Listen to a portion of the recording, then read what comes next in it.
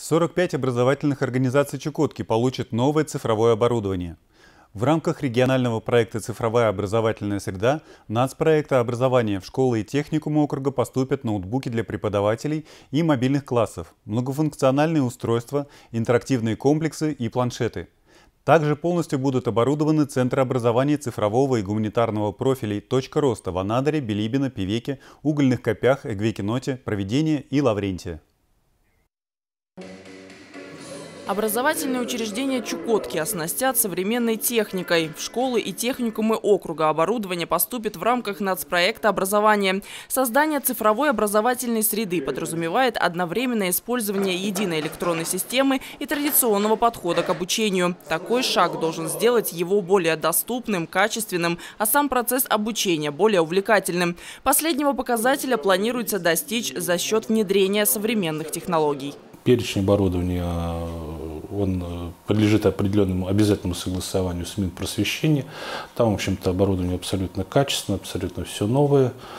С этим даже были сложности, потому что, скажем так, оно не массовое, э, оно достаточно индивидуальное, ну, высокого уровня, поэтому там некоторые приходилось делать доп. заказы непосредственно на производстве. Сюда включают, конечно же, скажем так, э, компьютеры, причем компьютеры разделены, компьютеры для учащихся, э, для класса. Все это на уровне ноутбуков, э, то есть больших стационарных нет. Есть компьютеры, которые идут для учителей, есть отдельный блок компьютеров для административного персонала, естественно, сопутствующая периферия и новые современные, скажем так, как мы привыкли называть, интерактивные доски, но это уже нечто другое это уже совершенно другой шаг вперед.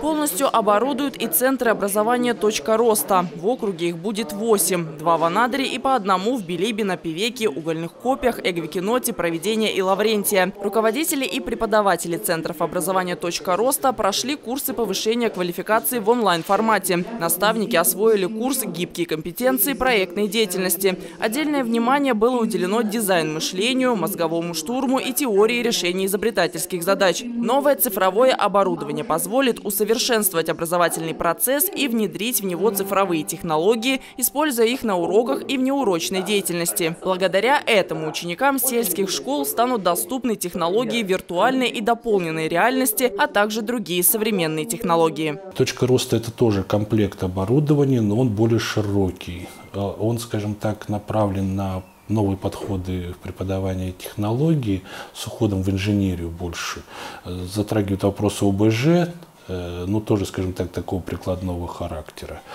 и IT-технологии. Э, вот на первом этапе. Немножко там робототехники будут, но это отдельный разговор. Это, скажем так, мы сейчас работаем отдельно под эти точки роста, скажем так, чтобы робототехнику туда включить. Но это, еще раз говорю, это вот отдельный пункт, который сейчас просто находится в стадии проработки. В точке роста будут использоваться 3D-принтеры, квадрокоптеры, VR-шлемы, а также мощные вычислительные станции.